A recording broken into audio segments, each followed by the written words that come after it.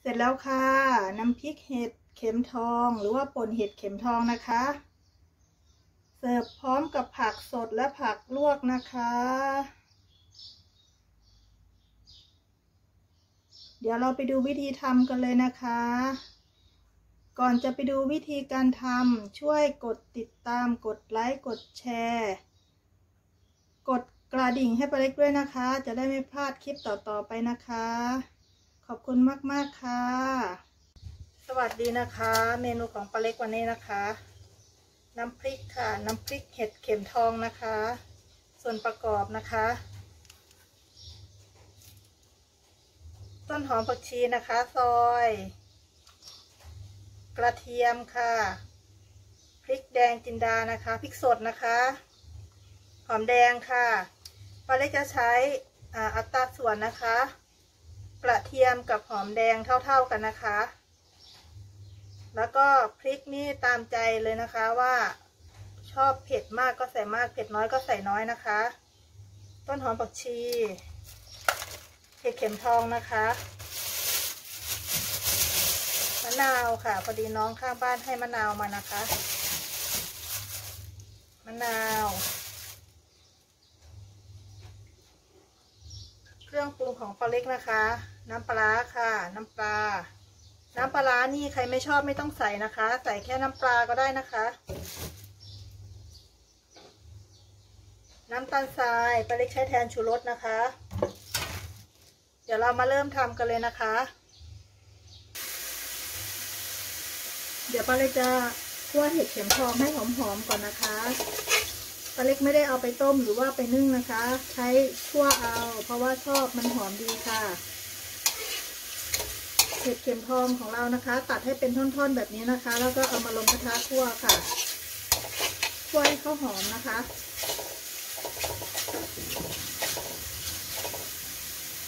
เดี๋ยวมาดูอีกทีตอนเห็ดเข็มทองเหลืองแล้วนะคะปลาเล็กคั่วเห็ดจนเห็ดของปลาเล็กหอมแล้วนะคะ เริ่มมีสีเหลืองๆเข้ามาแล้วนะคะ เห็นไหมคะ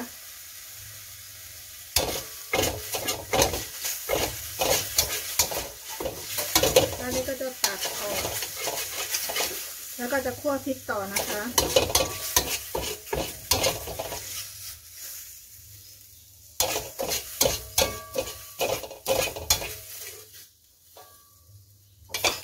ในระหว่างนี้อย่าลืมเบาแก๊สลงนะคะ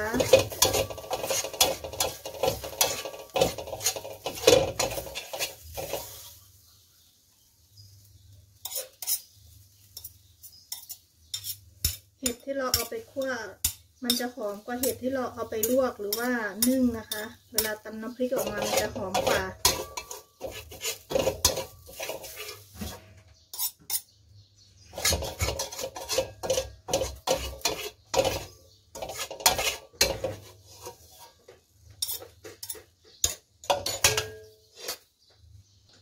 ทีนี้เรามาคั่วพริก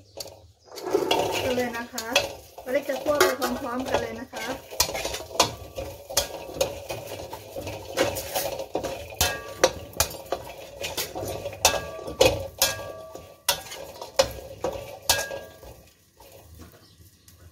เคล็ดลับนะคะ ถ้าเราอยากให้หอม ให้หอมกับกระเทียมของเราสุกข้างในไวๆนะคะ เราคั่วไปได้แป๊บหนึ่งนะคะ เราก็เอาฝาหม้อมาครอบไว้ค่ะ แต่อย่าไฟแรงนะคะ เวลาเราครอบไว้ ในระหว่างที่เรารอเราก็นึ่งผักไว้ เห็นไหมคะ นึ่งผักไว้รอแล้วค่ะ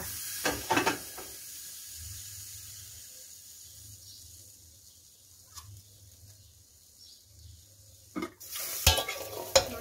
คร อบไว้แป๊บนึงเราก็มาคั่วนะคะคั่วแล้วก็เราก็ครอบต่อนะคะ เหมือนเราอบอะค่ะ เดี๋ยวอีกสักครู่เรามาดูกันตอนพริกสุกนะคะพริกของปลาเล็กสุกแล้วนะคะ เราจะรู้ได้ยังไงคะว่าหอมกระเทียมของเราสุกแล้วหรือยังให้เราเช็คดูนะคะ บีบดูนะคะ เนี่ยถ้าเขานิ่มนะคะ แปลว่าเขาสุกแล้ว ทำน้ำพริกนะคะ ถ้าหอมกับกระเทียมไม่สุก มันจะตามออกมาแล้วมันจะไม่อร่อยนะคะ ต้องให้เขาสุกเลยค่ะ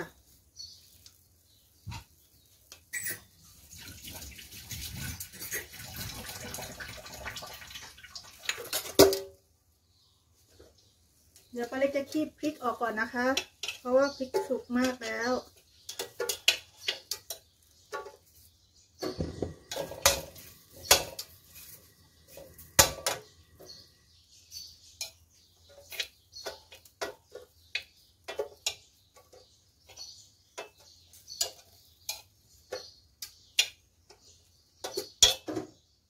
กระเทียมกรีบเล็ก ๆ ออกก่อนค่ะ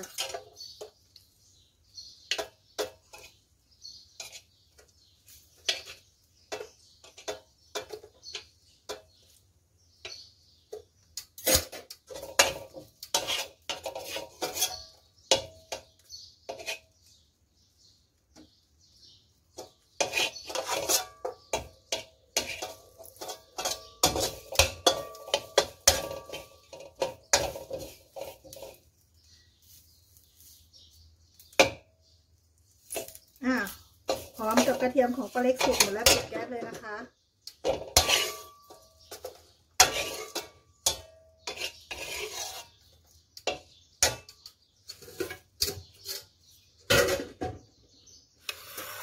เรามาตำน้ำพริกกันเลยค่ะ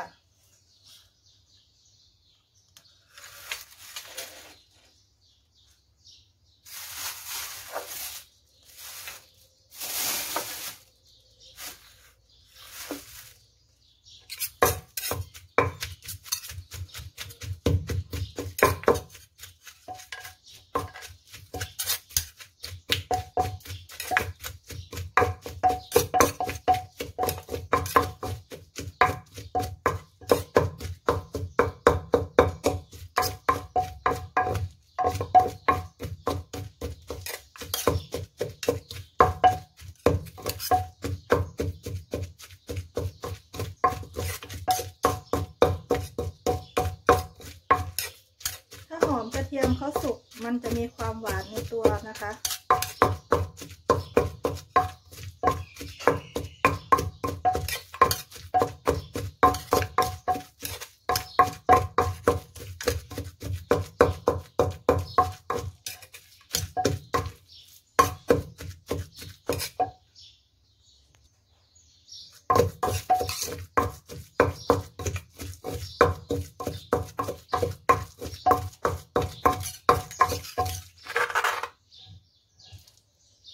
ละเอียดแล้วนะคะ เดี๋ยวป้าเล็กใส่เห็ดลงไปเลย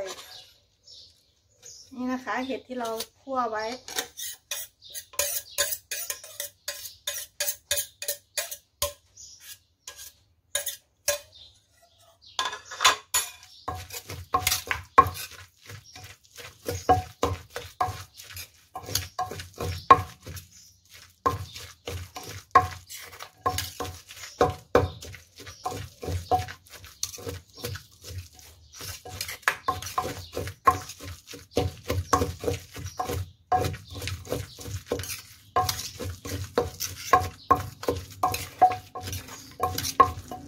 กับน้ำพริกของเราเข้ากันแล้วนะคะ เดี๋ยวป้าเล็กจะปรุงเครื่องเลยค่ะ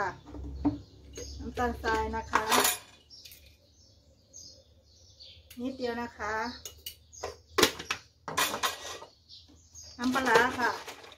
ใช้ใช้ปลาร้าขวดให้เขย่าก่อนนะคะ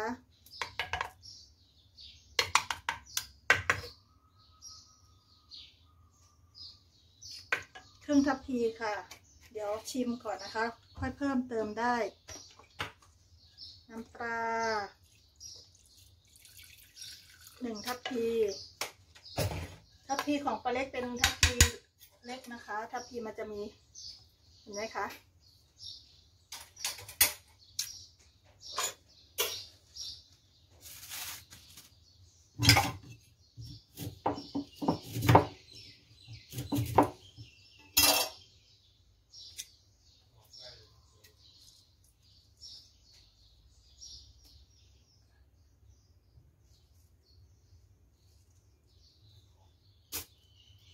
มะนาวประมาณ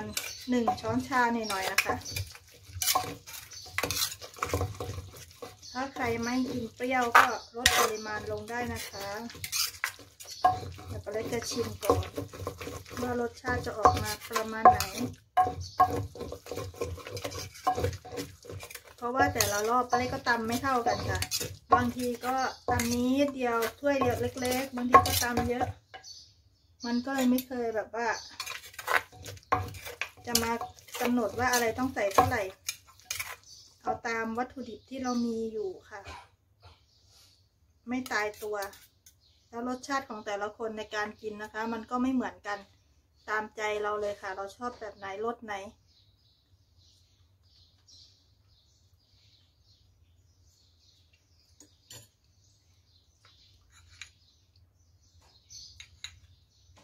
ขอน้ำปลานิดนึงนะคะ ปลาร้าปลาเล็กพอแล้ว แล้วปลาเล็กก็ใส่หอมผักชีลงไปเลยค่ะ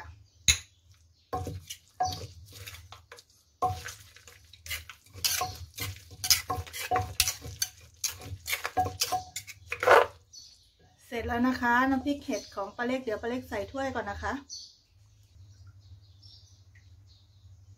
น้ำพริกเห็ด หรือว่าป่นเห็ด พร้อมเสิร์ฟแล้วนะคะ เสิร์ฟพร้อมผัก